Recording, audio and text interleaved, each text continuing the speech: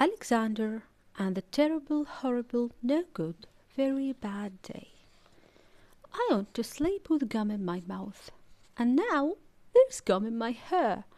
And I got out of bed this morning. I tripped on the skateboard, and by mistake I dropped my sweater in the sink while the water was running, and I could tell it was going to be a terrible, horrible, no good, very bad day. At breakfast, Anthony found a Corvette Stingray car kit in his breakfast cereal box. And Nick found a junior undercover agent code ring in his breakfast cereal box. But in my breakfast cereal box, all I found was breakfast cereal. I think I'll move to Australia. In the carpool, Mrs. Gibson let Becky have a seat by the window. Audrey and Elliot got seats by the window too. I said I was being scrunched. I said I was being smashed. I said if I don't get a seat by the window, I'm going to be car sick. No one even answered.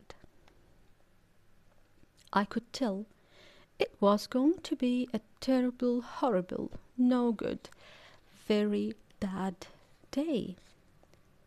At school, Mrs. Dickens liked Paul's picture of the sailboat better than my picture of the invisible castle. At singing time, she said I sang too loud at counting time, she said, I left out sixteen. Who needs sixteen? I could tell it was going to be a terrible, horrible, no good, very bad day. I could tell because Paul said I wasn't his best friend anymore.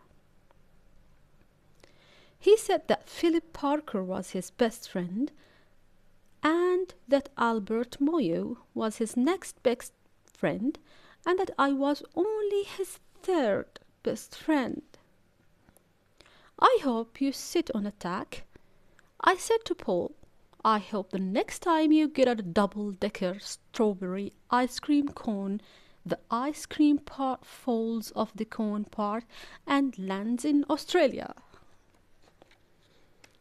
There were two cupcakes in Phillips Parker's lunch bag, and Albert got a Hershey bar with almonds, and Paul's mother gave him a piece of jelly roll that had little coconut sprinkles on the top.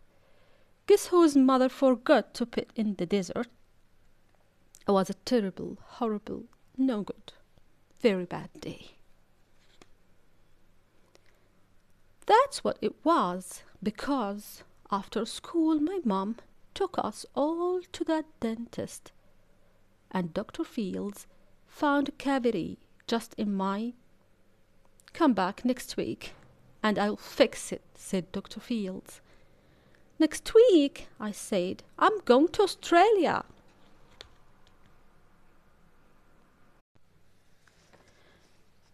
On the way downstairs, the elevator door closed on my foot. And while we were waiting for my mum to go get the car, Anthony made me fall where it was muddy. And then, when I started crying because of the mud, Nick said I was a cry baby. While I was punching Nick for saying cry baby, my mum came back with the car and scolded me for being muddy fighting. I'm having a terrible, horrible, no good, very bad day, I told everybody. No one even answered. So then we went to the shoe store to buy some sneakers. Anthony chose white ones with blue stripes. Nick chose red ones with white stripes. I chose blue ones with red stripes. But then the shoeman said we're all sold out. They made me buy plain old white ones, but they can't make me wear them. When we picked up my dad at the, his office, he said I couldn't play with his copywriting copying machine. But I forgot. He also said to watch out for the books on his desk, and I was careful as, as I could be expected for my elbow. He also said don't fool around with his phone, but I think I called Australia. My dad said, please don't pick up him again.